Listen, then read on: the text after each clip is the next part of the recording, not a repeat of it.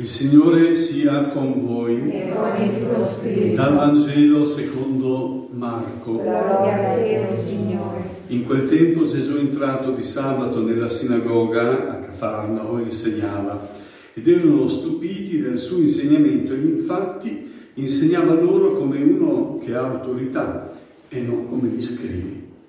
Ed ecco nella loro sinagoga vi era un uomo posseduto da uno spirito impuro e cominciò a gridare dicendo che vuoi da noi Gesù Nazareno, sei venuto a rovinarci, io so che tu sei il santo di Dio. E Gesù gli ordinò severamente, taci, esci da lui. E lo spirito impuro, straziandolo e gridando forte, uscì da lui.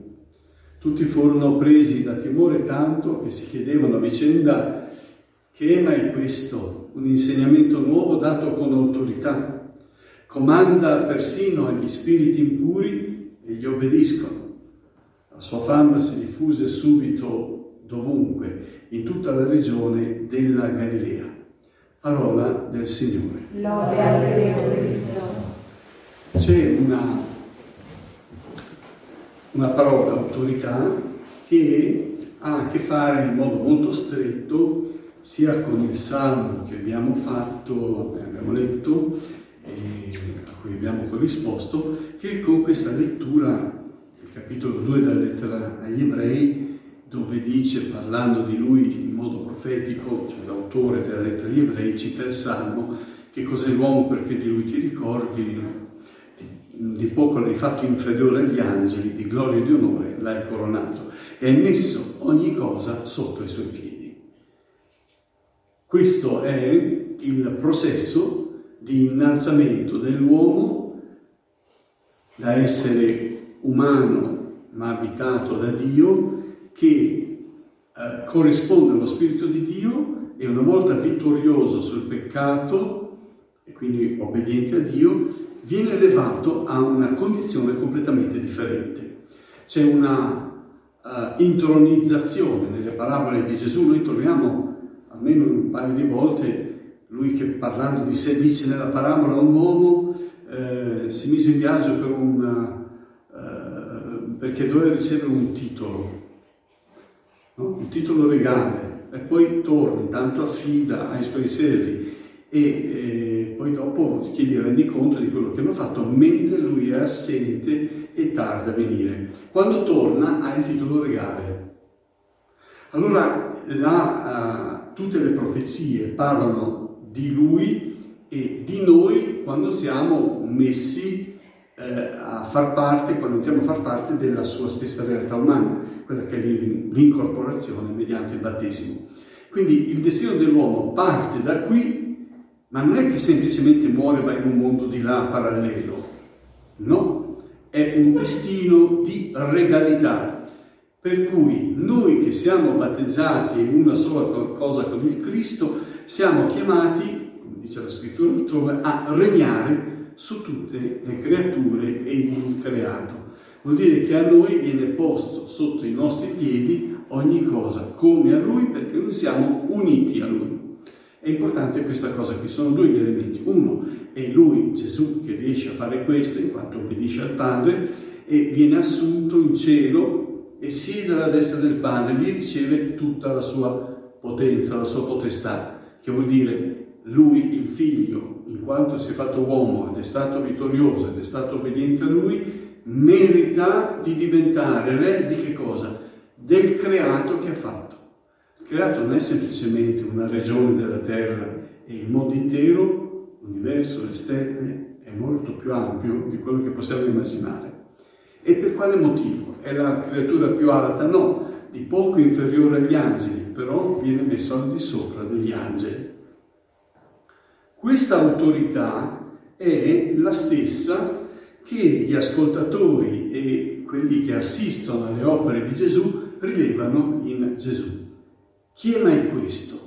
Parla con un'autorità e insegna una, un'autorità che gli scribi non hanno e in più una dottrina nuova e poi scaccia il demonio, nessuno aveva mai fatto una cosa del genere, nel senso che egli ha un modo di scacciare il demonio che non è che chiede a qualcuno al Padre, ti prego, manda via, no? che si chiama preghiera di intercessione. Chiedo a qualcun altro se mi fa il favore, la grazia di ottenere questo o quella cosa, in questo caso di cacciare il demonio.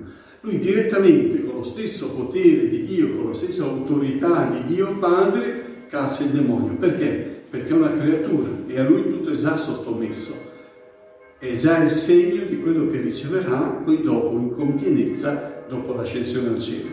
E anche riguardo alla scrittura, l'autorità sulla scrittura, non è che lui si inventa una dottrina nuova, perché se noi andiamo a leggere l'Antico Testamento troviamo una continuità e una pienezza con quello che Gesù ha fatto. Vi do un comandamento nuovo, poi se andiamo a vedere i profeti l'avevano già detto. Dove sta la novità? La novità sta nel fatto che gli scrivi con i secoli, no? nel passare delle generazioni, avevano aggiunto interpretazioni, modificato, eh? aggiunto tanti precetti, 613 precetti dei rabbini, per applicare le leggi che non capivano più, cioè più ci si allontana dalla fonte, il legislatore, colui che scrive una legge, una norma o dà degli insegnamenti, più ci si allontana e meno si capisce. Più la fonte è vicina e più si capisce. Allora un conto è ascoltare il Vangelo di, di uno che cerca di capirlo come noi duemila anni dopo.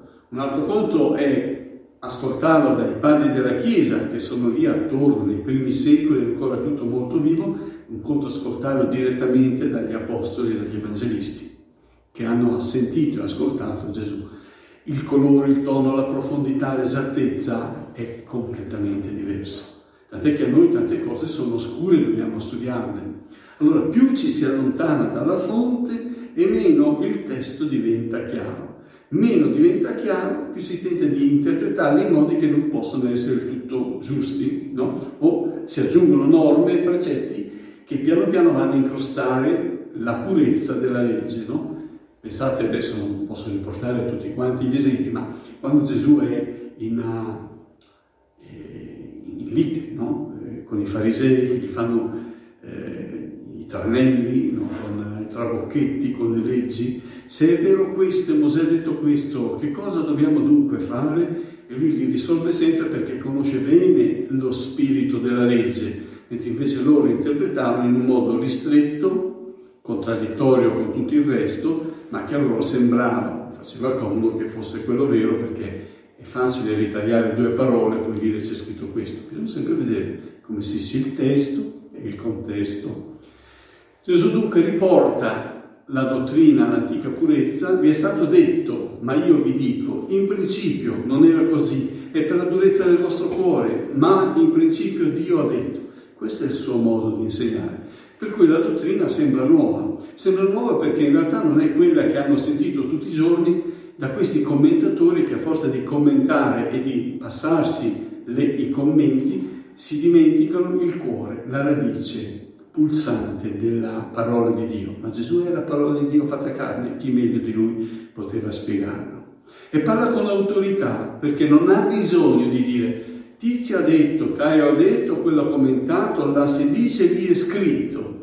Lui dice, ma io vi dico, io. E chi sono io? Lui dice, io sono il figlio di Dio, sono la sua parola che ha creato tutto e che ha anche dato i comandamenti e che ha anche dato tutte le scritture. Ecco questo senso di autorità nuova che loro sentivano e che veniva confermato anche dall'assoggettamento di creature, quelle angeliche, gli spiriti impuri, gli angeli decaduti, che a nessun uomo si sarebbero sottomessi. Da dove gli viene questa autorità? Sono i segni della sua divinità. Si realizza no? quello che dice nella, nella lettera agli ebrei, ogni cosa è messa sotto i suoi piedi, ma aggiunge una cosa, lo dico come apertura di un problema che non è un problema, lo conosciamo bene, dice, al momento presente però non vediamo ancora che cosa è, che ogni cosa sia a lui sottomessa.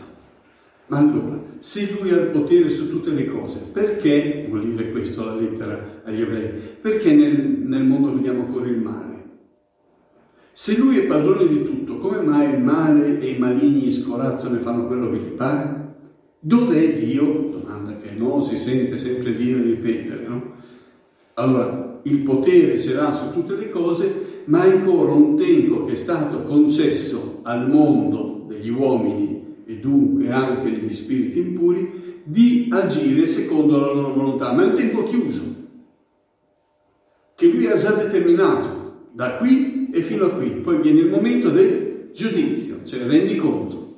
Quindi adesso vi sembra di essere liberi, il padrone che tarda perché è nato a ricevere un titolo regale. Quando tornerà chiederà a tutti rendiconto. Cosa hai fatto? Cosa hai fatto? Cosa non hai fatto? E vedi questo passo. Allora, questo, questa frase viene anche quell'espressione che è molto nota, una fortunata eh, espressione teologica di ormai 60 anni fa, già e non ancora, no? Ha già vinto, no? Tutto gli è già stato sottomesso, ma non vediamo ancora che ogni cosa sia a lui sottomessa, già e non ancora.